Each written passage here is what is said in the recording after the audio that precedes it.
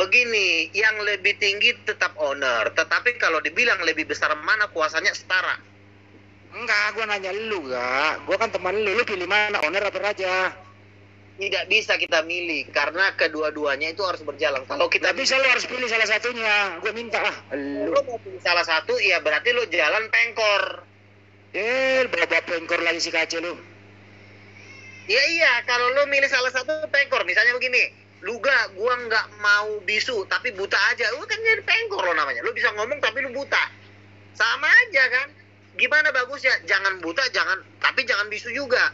Kalau lu misalnya milih cuma bisa melihat tapi bisu, jatuhnya lu punya bapak nggak nggak punya Yesus. Nah ini yang terjadi sama lo sekarang nih, punya Allah tapi nggak punya Yesus, bisa melihat tapi lu bisu kan bisa ngomong. Tapi Bagusnya tuh juga, kalau gue Salah pribadi dikasih pilihan mending gue pilih owner, enak tinggal merintah-merintah. owner jatuhnya lu jadi orang bisu Ya, kan- kalau owner kan penguasa menguasai semuanya. Tinggal ngomong.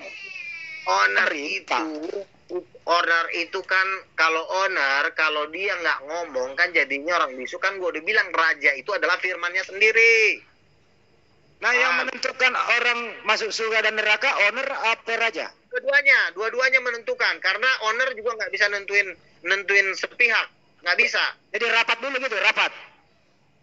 kedua-duanya ke keduanya harus bergerak kalau cuma owner nentuin nggak akan ada gunanya jatuhnya jadi misalnya gak, nanti lu mati nih, lu mati. Hmm. Nah, yang nentuin kan dua-duanya gitu loh. Nah kalau kalau satu kalau raja mengatakan lu gak masuk surga, kalau owner mengatakan lu gak masuk neraka. Nah keputusannya apa gimana itu? Itu nggak mungkin karena Yesus berkata aku dan Bapa adalah satu dan aku selalu menuruti perintah Bapa. Karena kalau gini, karena kalau Yesus tidak menuruti perintah Bapa, dua-duanya hancur. Ya Bapa kalau hancur. Iya kalau Yesus me- memenuhi perintah Bapa, artinya Bapa menginginkan lu di neraka, Yesus harus manut. Lu harus ke neraka gak? bisa Bapa itu nggak bisa ngelempar orang ke neraka kalau kalau nggak ada Yesus. Ya tapi kan Bapak yang berkuasa. Bu, Yesus di- manut. begini brother, Iya, dibilang silakan brother. itu karena ada Yesus, bukan karena Bapa sendiri. Kalau Bapa sendiri nggak ada Yesus, Bapa nggak ada apa-apanya. Jadi kalau nggak ada Yesus, Bapak anu timpang begitu? Iya pencong, pengkor. Oh, pengkor. Iya. Kalau ibarat manusia itu Yesus sebagai apa di situ? kalau ibarat kata manusia nih ya, kalau misalnya nggak ada Yesus nih ya, ibarat kata lo bisa Iya. ngelihat tapi bisu nggak bisa ngomong. Iya. Gitulah kalau ada Bapa, kalau nggak ada Yesus. Tapi kalau ada Yesus nggak ada Bapa, jatuhnya lo orang idiot, ngomong mulu tapi nggak tahu apa yang diomongin. Eh, ya, itu namanya Jadi jadi selama Yesus ada di muka bumi 33 tahun, Bapak di surga disuruh. Kan itu kan satu kan gue udah bilang kalau Tuhan itu nggak bisa dibatasin seperti itu karena itu connecting sorga bumi itu connecting. Nah, lu tadi yang membatasi gimana sih ente, Bro? iya masuknya kalau Yesus tidak mengikuti perintah Bapa Yesus mau memberontak kepada Bapa dua-duanya akan hancur. Bapa pun hancur Yesus pun hancur. Paham? Kalau Bapa kalau misalnya Bapak berjalan sendiri itu pun tetap hancur. Satu-satunya cara mereka harus saling melengkapi. Bapak dan anak harus sejalan.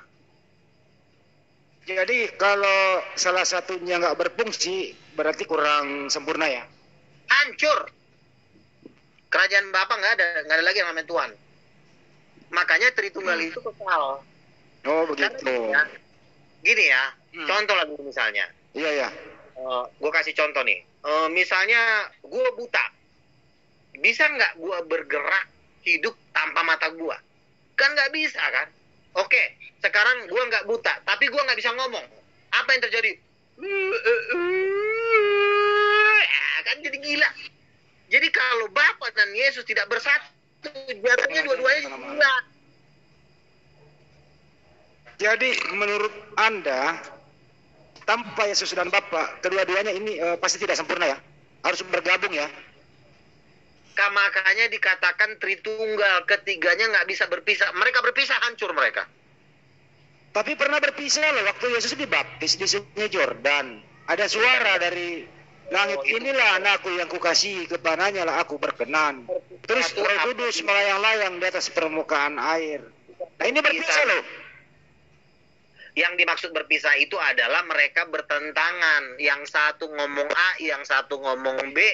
Itu namanya mereka berpisah. Oh ini namanya berpisah struktur struktur anu apa namanya pem- eh, Nah udah lah gitu aja lah. Intinya nggak usah lu bikin muter. Gue juga nggak punya waktu banyak. ya. Jadi gitu penjelasan gua nggak usah dipelintir-pelintir. Enggak, saya nggak berani pelintir ya, pengajasan lu. Gua orangnya jujur, nggak mau Iya, gua. Intinya gue udah jelasin Hmm. sejelas-jelasnya, jadi nggak usah ditambah-tambahin, nanti gue juga capek. Jadi begitu. Jadi Yesus tanpa Bapa nggak bisa hidup, Bapa pun tanpa Yesus nggak bisa hidup. Bapak tanpa Yesus nggak bisa hidup, Yesus tanpa Bapak nggak bisa ya- hidup. Eh, pintar loh, pintar, benar itu. Ya saya ikutin lu, kan gua nggak mau bantah lu bro. Kedua. Tuhan. Nanti kan lu anggap saya menghujat lagi gitu, saya nggak mau penghujat kan. Terus ya, kalau Bapa bisa hidup tanpa Yesus, Bapa bisa menciptakan langit dan bumi, maka resmilah Yesus bukan Tuhan. Resmi langsung gua tanda tanganin. Coba lu simulasikan bro. Waktu Allah Bapak menciptakan alam semesta itu, Yesus fungsinya apa tuh? Ya kan Yesus kan mulutnya Bapa. Lu gimana sih? Oh. Lu? Yesus adalah mulutnya Bapak. Iyalah kan perkataannya Bapa Yesus itu. Kalau nggak ada perkataan lu kan jadi orang gila namanya. Jadi mulut Bapak dikandung Bunda Maria begitu? Firman itu kan firman itu kan keluar dari mulut. Ah, Nah berarti kan perkataan yang keluar dari mulut itulah Yesus. Oh, Kalau iya. perkataan dari mulut itu nggak ada ya Bapak jadi bisu. kalau waktu eh, waktu Allah Bapak menciptakan matahari, berarti kenapa Yesus nggak jadi matahari? Lu udah orang gila ya ini, ini orang diajarin makin lama makin Ya lu bisa ngomong gitu, kan cuma lurusin lu ah. Firman menjadikan matahari, bukan firmannya jadi matahari. Paham nggak lo? Ya, seperti juga Yesus, firman yang menjadikan Yesus, bukan firman adalah Yesus. orang gila. Eh, jangan beragak gila lu gak, lu balik-balik lu giliran matahari lu lurus, giliran kayak Yesus lu bengkok. Itu aja yang diajar-ajarin nggak masuk-masuk dari dulu otaknya. Gue yang lu, lu lagi di gunung ya? Ngapain di gunung sih? Ah, Eh, ah? Nadi. Lu mau ikut ke gunung? Ya ya, Saya boleh tanya Jadi gua- sama Bang Luga? boleh boleh, boleh. monggo. Tapi yang santai ya. Iya. Bang Luga, selamat malam. Ya, ya. Kalau Yesus itu dibarat, diibaratkan seperti rumah itu, eh, ja- katanya tadi kan Tritunggal, Ya. tidak bisa dipisahkan. Berarti diibaratkan seperti rumah itu Yesus bangunannya, terus yang satunya pondasinya gitu ya? Enggak, saya kalau mengibaratkan Yesus itu ya, saya ibaratkan Bapak itu adalah ide, mindset Yesus itu cahayanya. Jadi kalau misalnya Bapak cuma punya ide, tapi tidak ada cahaya, maka nggak akan ada gunanya karena gelap.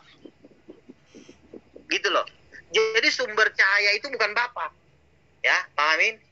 Ya, ya, sumber ya. cahaya itu ada ada adanya pada Yesus. Makanya Yesus berkata, "Aku adalah terang dunia." Jadi Bapak ini bukan sumber cahaya, Bapak cuma sumber ide. Misalnya gini, yang merancang bumi ini bulat itu Bapak, itu kerjanya Bapak.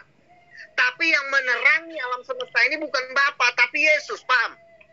Ya, ya, ya. Coba Anda bayangkan, Bapak merancang langit dan bumi, Bapak merancang manusia, tapi semua gelap, kan gak ada gunanya.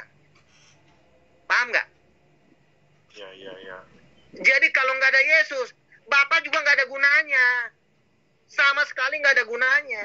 Satu kesatuan gitu berarti ya? Iya, karena gini kan, ya? Bapak itu kan pemikiran, ya.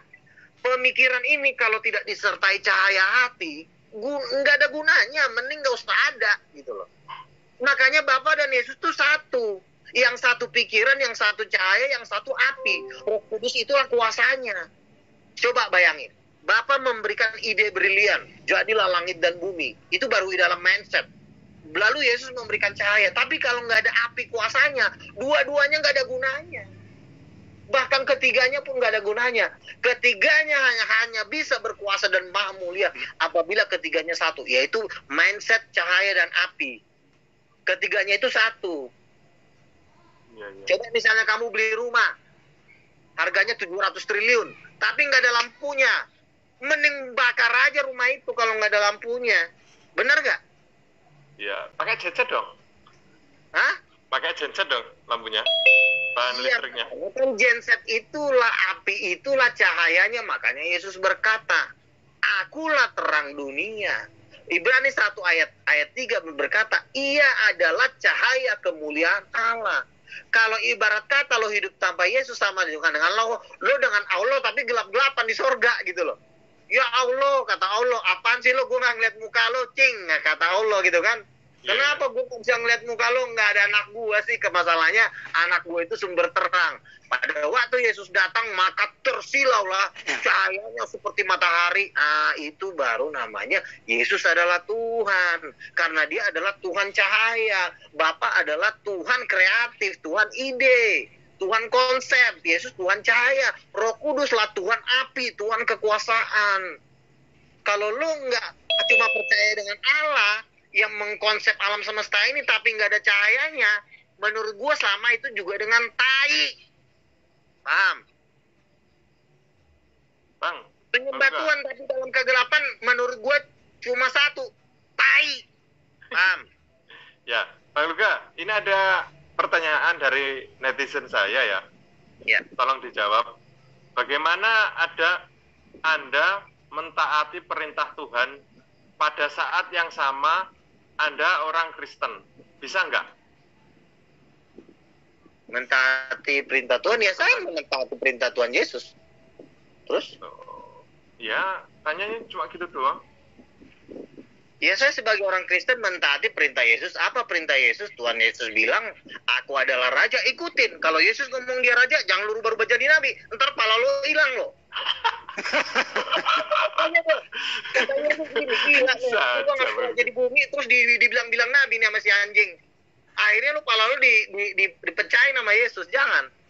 Kalau Yesus bilang dia raja, jangan lu rubah. Lu rubah dikit pun pala lu hilang. Enggak, yang nyiksa orang di neraka Yesus atau apa? Yang nyiksa Yesus, yang nyiksa orang di neraka itu pertama di neraka pertama itu iblis dan Iblis. Terus konteksnya. Lalu yang kedua, iblis dengan semua yang ada di dalamnya yang namanya kerajaan maut itu dicemplungin hidup-hidup ke dalam lautan api dan belerang.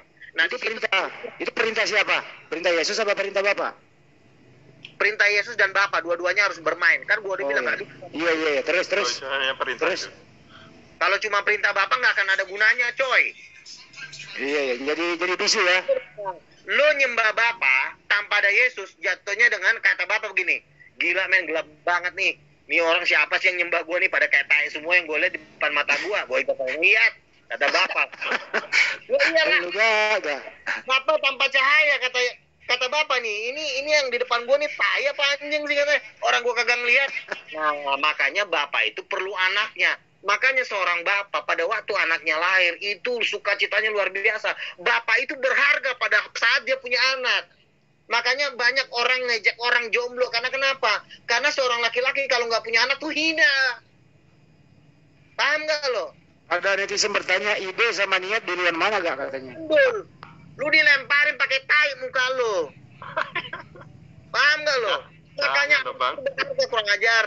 Di surga udah nggak ada. Emang di surga ada kayak begituan nggak? Eh, di neraka. Ya itulah gambaran di Gambaran. gambaran dari sorga di saat lo punya anak menikah lo pasti dihormatin kan tapi di saat lo udah tua tapi lo nggak kawin-kawin punya anak pa- pasti lo dianggap tai sama orang Ya, baik. Bapak kalau bapak tidak ada anaknya bapak juga nggak ada gunanya nggak berharga Tapi anak bapak selama di bumi nggak kawin-kawin, jadi dianggap apa dong? siapa Ya Yesus nggak punya nggak kawin-kawin. Wahyu 19 pesta, per- pesta perjamuan nikah anak domba lo nggak lo baca itu Oh jadi menurut lu Yesus menikah gitu? oh, kebanyakan cowok Kristen yang lain mengatakan Yesus nggak menikah. Yang mana yang gue percaya ini? aja lah Bingung gua. ya, yang jelas kalau malam ini gue percaya sama lu dah. Kan gue temen lu. Nah, Tuhan itu kan menganggap jemaat manusia ini istrinya. Kan kita ini kan gambarnya Tuhan. Tuhan itu laki-lakinya, kita perempuannya. Makanya Yesus menikah dengan gerejanya. Itu kan secara alegoris maksudnya menikah beneran dengan perempuan gitu kak di waktu di Yang bumi itu kan secara roh. Di saat lu menyembah Tuhan, memuji Tuhan, sebenarnya roh lu tuh sedang menikah dengan Tuhan. Kan orang menikah juga sebenarnya kan begitu ya sebenarnya. Cuma Iya, karena tapi ada ada, kalau ada Yesus Dengar kalau dulu, Yesus menikah kalau Yesus menikah beneran nggak sih sama Maria Magdalena begitu Nah, itu nggak benar itu pembohong itu itu itu pasti ditusuk pantatnya tuh di neraka yang ngomong gitu tuh. Saya bertanya loh ya saya nggak nggak nggak mengklaim nih saya Yang, bertanya artinya yang, enggak yang mana Bang Luka itu? kita clearkan berarti Yesus nggak menikah sama Maria Magdalena kata Bang Luka Pernikahan Yesus itu Ya, terus Yesus waktu hidup menikah beneran apa menikah rohani Yesus tidak pernah menikah waktu semasa hidupnya karena Enggak. dia itu Tuhan. Dia menikah sama gereja. Pernikahannya juga secara roh.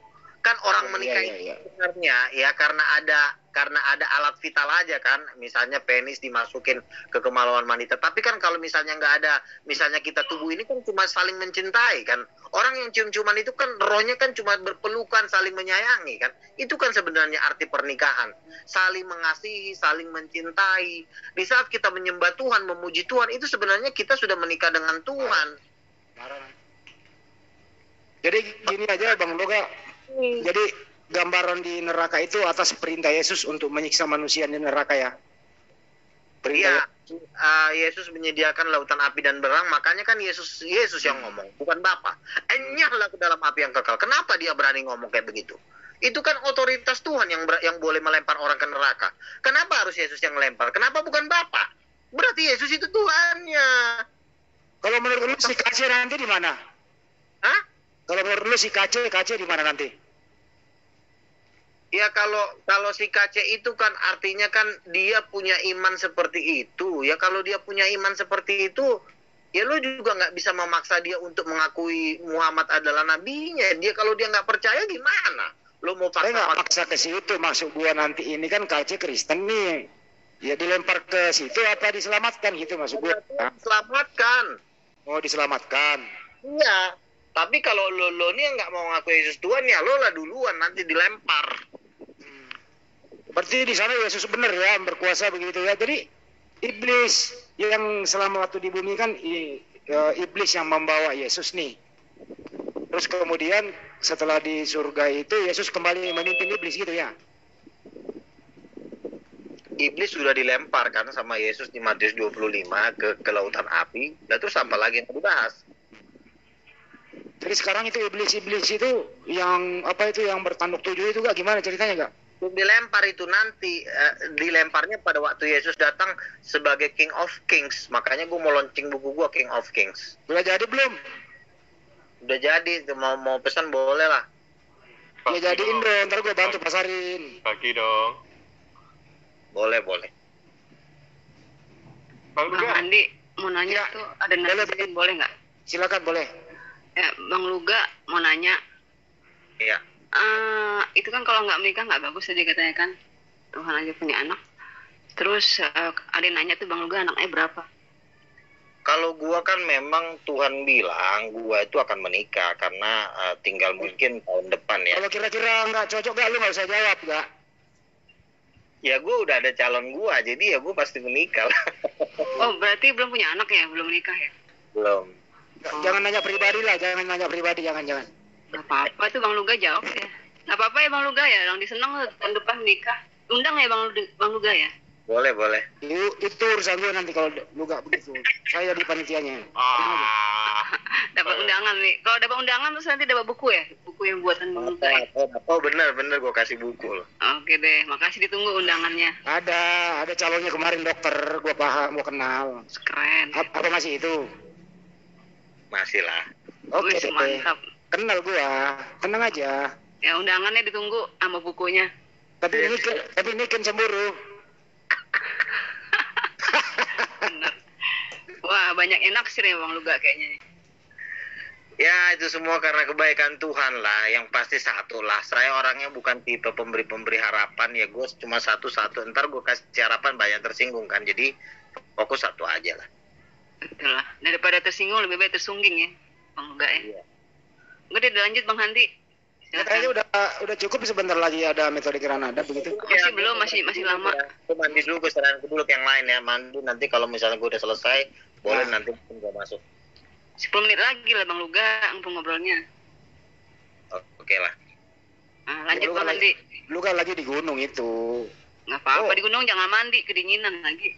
Oh Ibu Denova baru online. Baru. Iya. Oh ya iya. udah, silakan ngobrol aja sama Masa Bang air Luga. panas dulu Bang Luga, nanti air panas sudah mendidih baru mandi. Ya ngobrol-ngobrol dulu sama Bang Luga biar lebih. Iya, kalau di gunung harus nanti harus pasang air panas enak tuh kalau di gunung mandi air panas bener tuh cocok tuh karena Iya. waktu gua itu waktu gua di daerah Toba itu eh, mamaku semua adik-adikku tuh pasti kalau udah sore tuh masa air panas tuh semua mandi air panas nggak pernah nggak mandi air panas semua tuh pasti mandi air panas karena dingin kan daerah sana kan Iya. Nggak lagi nggak bagus juga kalau mandi dingin-dingin Bang Luga. Bahaya. Ya udah ah, panas dulu air panas, nanti kalau udah panas itu masih masih ada waktu dikit lagi 15 menit lah, 10 menit. Enggak bagaimana kira-kira hukumannya gitu kalau ada Kristen nih tapi berkelakuan penjahat gak dia di ke surga apa ke neraka tuh? Iya kan kita kan sebenarnya tidak eh, apa ya menilai ini kan harus menurut pan nilai apa sudut pandang Tuhan ya. Secara adil ya. Kadang-kadang kan manusia ini kan tidak sanggup menghakimi secara adil tidak sanggup. Karena kenapa? Manusia ini manusia berdosa. Jadi dia untuk melihat sudut pandang yang benar itu oh, sangat susah gitu loh. Jadi kalau kita mengatakan ini salah ini salah belum tentu juga itu salah ini salah gitu loh. Jadi eh, menurut gua ya ya ya dua-duanya harus banyak berdoa lah ya. Artinya saling mengoreksi. Ya, semua pasti punya kekurangan. Ya persoalannya adalah kan contoh begini. Banyak kita nggak eh, menjelasir ya ada satu oknum nih. Ya. Nah, agak umat Muslim juga ada penjahat ada jadi Ya. satu orang Kristen nih misalnya si A gitu ya eh, berbuat kejahatan terus eh, ditembak sama petugas mati dalam kejahatannya itu. Surga apa neraka tuh? Ya dua-duanya bisa bisa masuk neraka. Yang satu dia belum bertobat dia masuk neraka. Yang pen- yang nembaknya juga masuk neraka juga. Karena yang berhak menghakimi itu kan Tuhan. Kan ada ayatnya pembalasan Betul. adalah jadi artinya makanya segala sesuatunya itu kita serahkan aja kepada memang orang yang ditentukan Tuhan untuk menghakimi. Jangan kita uh, menjadi hakim sendiri. Karena pada waktu kita menjadi hakim sendiri uh, posisi kita sama seperti orang yang ber- berzina itu kan. Ahli Taurat semua mengatakan ini kalau menurut hukum Taurat ini harus dilempari batu sampai mati. Dan semua tokoh-tokoh agama itu akan melempari si penjina itu sampai mati. Tapi apa yang terjadi? Pada waktu itu ada Yesus Yesus berkata barang siapa yang tidak punya dosa hendaklah dia melemparkan batu itu yang pertama. Dan akhirnya tidak ada yang melempar orang yang berzina itu. Artinya makanya kita harus menilai orang itu secara cara pandangnya Tuhan bukan cara pandang manusia. Jadi pada prinsipnya itu harus hidup baik di mata masyarakat ya. Semuanya. Jadi daripada kita nasihatin orang lain mending kita nasihatin diri kita sendiri. Kita Betul. udah pak. Belum di Nah, bagaimana kalau saya lihat di dunia barat gak ya, mohon maaf nih. Kebanyakan maaf sekali eh, sau- saudara-saudara kita Kristen di dunia barat itu kita nggak bisa pungkiri. Di Indonesia juga ada kok. Yang kumpul kebo. Tidak menikah kak terus meninggal gimana itu? Ini. Punya anak Kalau- pula lagi? Ya kalau untuk akhir zaman ya lo jangan mencontoh dunia barat. Lo harus mencontoh orang-orang Kristen yang ada di Indonesia ya karena kenapa? Sekarang sudah terbalik. Karena kenapa? Firman Tuhan berkata ada yang terdahulu menjadi yang terkemudian yang terkemudian menjadi yang terdahulu. Apa artinya? Orang-orang yang Kristen yang dahulu per- pertama-tama jadi Kristen kan orang-orang yang pertama jadi Kristen kan orang-orang Eropa kan? Itu bisa menjadi orang yang terbelakang. Karena kenapa? Karena mereka sudah menganggap kekristenan itu mereka udah kaya mereka udah nyaman sehingga mereka tidak berharap lagi sama Tuhan. Sementara kita yang di Indonesia ini yang udah kecil terjepit terhina kita tiap hari kerjanya teriak mula sama Tuhan. Sementara orang Eropa udah hidupnya terlalu enak terlalu santai di situlah mereka jadi ter- tergoda. Zona nyaman mereka membuat mereka tergoda untuk berdosa. Makanya kalau kita lihat justru banyak yang dosa dilakukan itu sebenarnya banyak di Amerika. Iya. Porno dari dari Amerika, gay, pernikahan gay diresmikan di sana. Jadi kalau Iya, kita iya. kekristenan, kita harus melihat melihat kekristenan di Asia karena kekristenan di Asia itu benar-benar murni. Karena mereka benar-benar eh, apa ya? Artinya mereka minoritas tapi mereka justru malah lebih semangat dari Eropa. Jadi kalau Ya itu dia tuh gak. Saya lihat tuh di gereja itu ada pernikahan LGBT segala macam, perempuan sama perempuan, laki sama laki. Di dalam gereja loh gak? Gimana tuh? Betul, betul. Itu betul. Makanya Yesus berkata, tapi itu tidak semua ya. Artinya itu hanya memang banyak Betul. seperti Tidak semua, tidak semua menurut saya, tidak semua. karena bagaimanapun kita tetap menghormati orang Eropa karena bagaimanapun yang membuat orang Kristen di Indonesia ini adalah Jerman. Ya, kita tetap hargain itu. Walaupun mereka punya dosa karena mereka terlalu nyaman hidupnya. Coba gua kurang nyaman apa hidup orang Eropa? Kerjanya mereka menjajah kok. Hidup dari hidup dari kekayaan bangsa-bangsa. Kurang enak apa hidup mereka? Coba lo kalau ke Eropa, kotanya itu begitu nyaman. Lo bisa masuk di Eropa, itu bawahnya pengen tidur karena udah terlalu enak gitu loh. Nah, itulah yang membuat mereka kadang-kadang lupa lupa sama Tuhan. Makanya gereja mulai banyak yang kosong gitu loh. Nah, jadi kalau lo untuk menilai kekristenan, lo lihat kekristenan di, di negeri-negeri minoritas. Di situlah kekristenan mereka teruji. Begitu loh. Makanya, makanya yang akan memimpin uh, kebangunan rohani untuk dunia itu sekarang sebenarnya lagi dipegang oleh Indonesia. Makanya Ustadz Moko Ginta berkata pemurtatan terbesar itu di dunia itu paling besar tuh di Indonesia. Gitu. Tapi fenomena ini juga kan nggak bisa kita pungkiri karena di sana juga kan mayoritas gak gitu ya.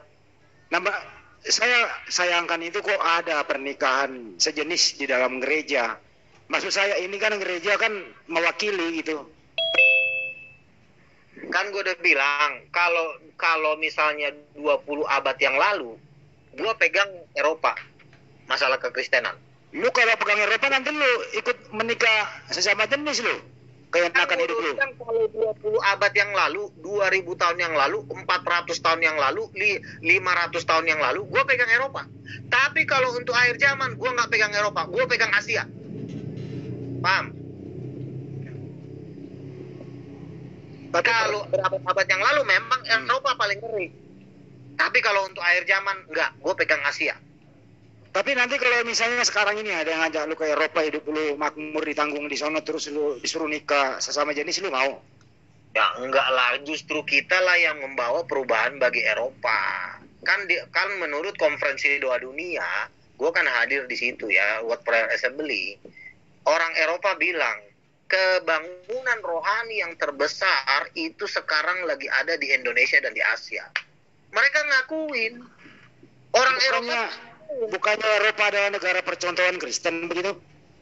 itu dua itu 5000 tahun yang lalu itu 400 tahun yang lalu benar tapi kalau untuk akhir zaman yang dipakai oleh Tuhan untuk mengkristenkan dunia ini itu bukan Eropa tapi Asia paham Asia khususnya di mana? Dipersempit Indonesia gitu. Indonesia paling ngeri Indonesia Dengan dasar apa gak?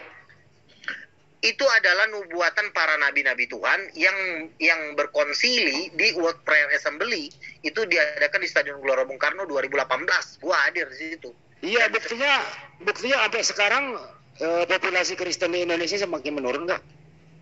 lu salah bro salah besar Salah ya? Ustadz Moko Ginta Ustadz Moko Ginta berkata pemurtadan yang terbesar di seluruh dunia itu paling besar di Indonesia Ya karena Indonesia mah penduduk Muslim terbanyak di dunia adalah Indonesia. Pasti juga Iya, kan, populasinya kita kan- banyak. Terbesar kita bilang Terus terus ya eh, mualaf yang paling terbanyak di Asia itu juga Indonesia. Gak jadi jangan sebelah menyebelah ya harus apple to apple ya kiri kanan gitu. ya, Ustadz Moko Ginta bilang hampir 2 juta per tahun satu Oh, juta enggak. Kalau hampir 2 juta per tahun, Tapi gua lu Moko Ginta aja kalau hampir 2 juta per tahun bisa nyampe 40 persen sekarang. Sekarang berapa persen nggak di Indonesia? Ya, siapa yang tahu Statistiknya itu mengatakan bahwa di Jawa Barat aja berkurang terus kok. Yang populasinya paling ja- bawah paling banyak kan- penduduk Indonesia kan Jawa Barat. Semakin Lo- berkurang banyak itu. Rin, yang lo tanya itu adalah apa tuh kenaf Komisi Nasional Anti Pemurtatan. Lo tanya sama mereka. Mereka yang lebih tahu. Mereka udah mengatakan memang banyak sekali terjadi pemurtatan tapi yang paling bocorin adalah Mustad Moko Ginta. Moko Ginta itu adalah founder dari tim fakta forum komunikasi kegiatan anti pemurtatan. Hmm. itu yang ngomong dia ngomong jujur. Oke lah, yang penting sekarang kita lihat fakta saja bahwa semakin banyak juga orang yang bersahadat, gak? lu tiap hari lu ketakutan sama channel Manubulu karena tiap hari Wah, saya nggak percaya itu manubulu itu. Manubulu itu murtadin odong-odong nggak, nggak ngerti apa-apa ya. Dibayar ya. oke lah bro ya gue istirahat dulu nih ya Iya, iya, iya, oke, oke, bro. mandi dulu nanti kalau gua ada waktu gua masuk lagi deh ya Thank you, bro. semuanya ya Tuhan berkati ya semuanya ya God bless. O- Oke, thank you. Sampai jumpa lagi. Terima kasih Bapak Luga Tambunan malam ini telah berdiskusi bersama kita. Santuy, tanpa hujatan, dan tanpa perdebatan seru. Tapi ada hikmah di balik ini yang kita bisa ambil bahwa beginilah Kristen, beginilah Yesus, beginilah Allah Bapa, beginilah Roh Kudus yang diterangkan langsung oleh Bang Luga. Tadi kadang nggak setuju juga, ada yang agak sedikit kontroversi antara pendapat Ibu Uti Watimena dengan Bang Luga karena memang berselisih paham tentang denomnya sendiri. Kalau Ibu Uti adalah dari Trinitas, kalau nggak salah, Bang Luga adalah dari karismatik. Ini tidak tidak seide dan ada yang tidak cocok dalam denom ini gitu ya.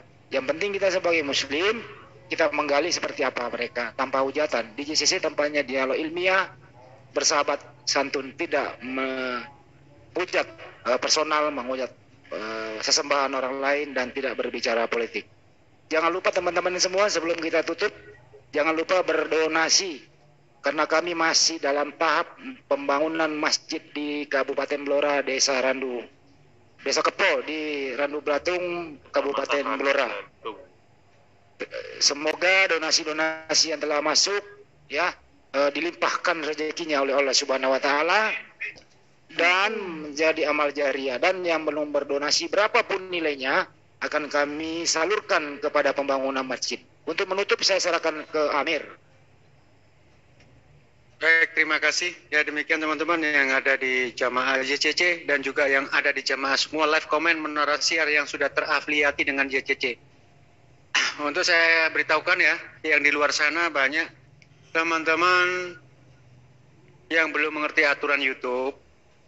Memang dalam konteksnya di JCC boleh diambil konten-kontennya itu dari luar. Tetapi alangkah alangkah baiknya bagi konten-konten muslim silakan bergabung di JCC agar kita selaras. Ya, agar kita selaras dan tidak ada tuduhan-tuduhan yang aneh-aneh. Saya perhatikan, ini mungkin ada yang ngerekod maupun ngambil konten dari sini, perdebatan di sini.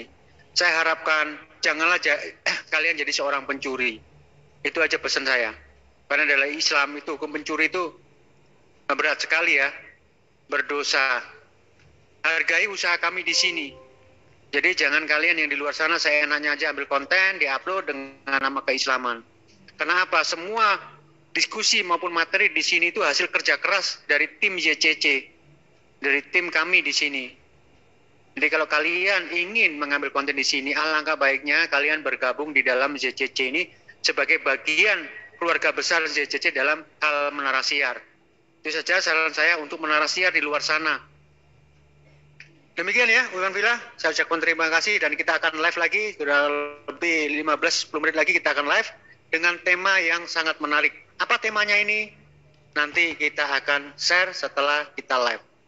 Akhir kata saya ucapkan wabillahi taufiq wal hidayah. Assalamualaikum warahmatullahi wabarakatuh. Waalaikumsalam warahmatullahi wabarakatuh.